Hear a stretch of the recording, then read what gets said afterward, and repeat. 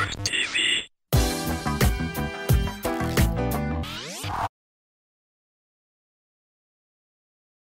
Hi everyone, this is Rich Formidoni from Korg USA. Today we're in the studio with the SV1 and what I'd like to do is take you a little bit deeper than the knobs and buttons that are on the front panel. And to do that we're going to jump into the software editor. If you haven't yet downloaded this editor, you haven't begun to tweak. There's lots of functionality right here on the panel with the knobs and buttons that are on the SV1, but there are lots of parameters in the software that you can't get to from the keyboard itself. So let's jump right in and I'll show you how it works. So here we are on the main page of the Editor Librarian. And you can see here we've already got lots more to do than we can on the front panel. So I'm going to go to uh, favorite number three, which is Tine EP slash amp. Now, just looking at the, uh, at the very first block here, we see that there's a three-band equalizer, but there's also a mid-range control. Now I'm going to turn on that EQ here. And uh, using that mid-range control, we can adjust the bell character of this particular electric piano. So first thing I'll do is uh, boost up the mids, and then I can sweep the mid frequency.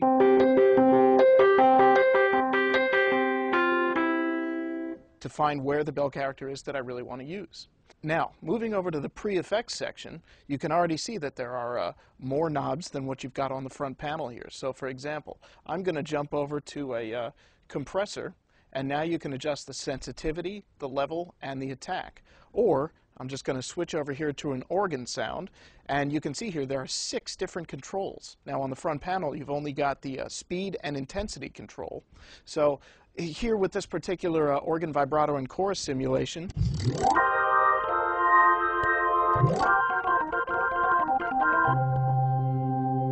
you can actually choose different types of vibrato and chorus just like you would on the real thing.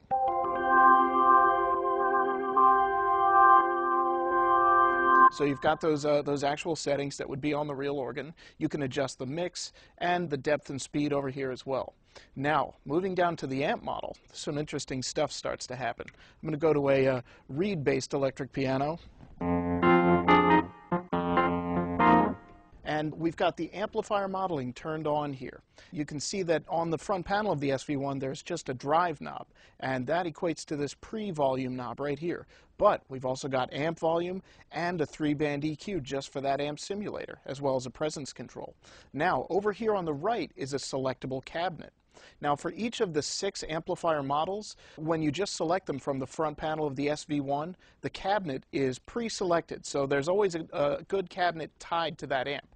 But if you want to switch it around a little bit, you have the freedom to do that here.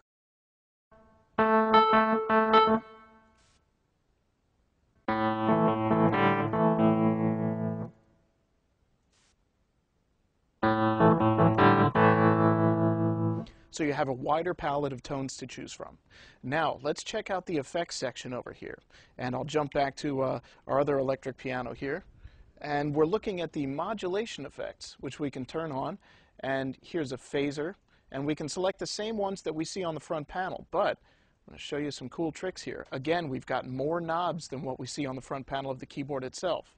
Now, uh, here for, on this chorus, for example, we've got speed, intensity, uh, width and mode, but there's also a type knob. Now listen as I, as I play with this. Here it's set to chorus. Now it's set to pitch mod. And there's also a flanger. So all those different settings just from that one chorus effect. And the same thing goes for our reverb and delay. In addition to uh, just setting the, the reverb depth or the delay depth, you now have all these additional controls for the reverb or delay that you select. Low gain, high gain, pre-delay, so you can tweak much, much further. Now, looking down here, there is a total effect. This doesn't appear anywhere on the front panel of the SV1. And your choices here are stereo limiter and stereo mastering limiter. And these are really great for a live situation. They'll allow you to get maximum gain without going over a certain level. So really great for keeping your tone nice and even on stage or in the studio. Now, I'm going to jump over to a clav sound.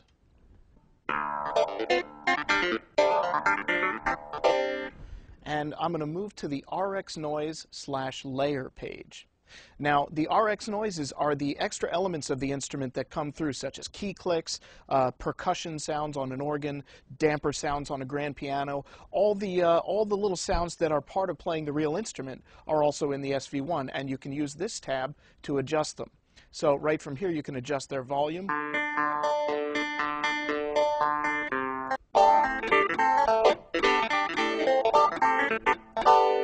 So you can hear the clicks are much more pronounced there. Also, there's a little trick on the front panel of the SV1. You can turn on the amp model real quick and turn down the drive all the way. And there you can isolate those RX sounds so you can play them by themselves. Now you might also notice here that there is another three band EQ and that is just for the RX noises and layers and it also has that sweepable mid-range. Now there are spots where this is especially useful. So for example I'm going to go to the piano category and sound number six in that category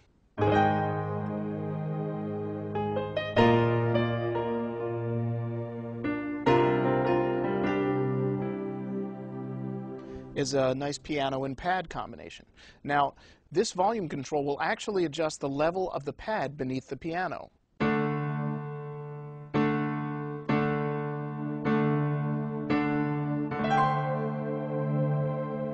and the same goes for the EQ. So it not only affects the, uh, the noises of the instruments, it also affects layered instruments. And you can download our new sound pack, and there are lots of new layered instruments in there as well.